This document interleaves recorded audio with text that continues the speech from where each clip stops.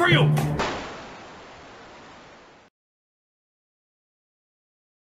Welcome back, I'm Captain Xavier, and I have another piece of work here from Clew Bay Leather.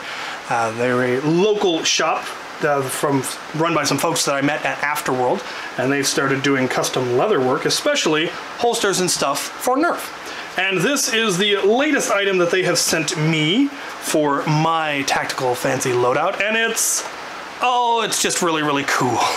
um, for those of you that aren't aware, this is my personal device. Um, the the hourglass is the crew's device; it's the company device, and the X Strike is my you know kind of my Nerf device. But this was my personal device from back when I did medieval recreation. I refer to it as the Fleur de Mort, the flower of death, because it looks vaguely like a fleur de lis, but it's made out of bones. Heraldically, this is uh, sable, which is a black field, um, a sheaf of thigh bones argent is how it would be heraldically emblazoned, which means three crossed thigh bones in white or silver, because heraldically white and silver are the same.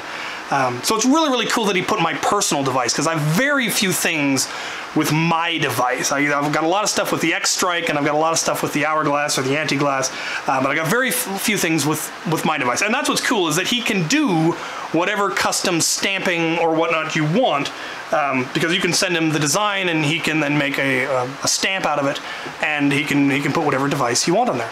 Uh, this one uh, is new. His new technique is that he's learned how to do proper leather stitching, uh, which is really really clean and pretty on here.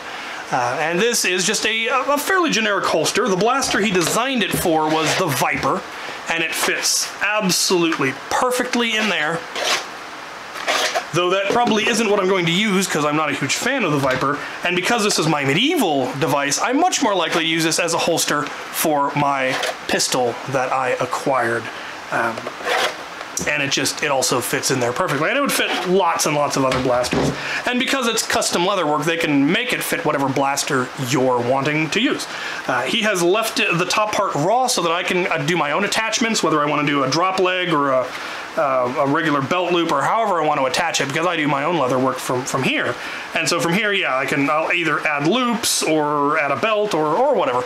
Um, yeah, maybe I'll even add MOLLE or make it modular. It is kind of my thing.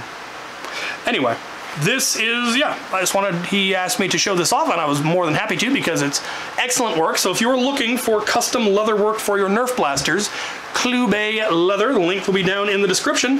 Hit him up, I'm sure you'd be happy to work with you. So, thank you Bay for this awesome, awesome holster, and thank you guys for watching.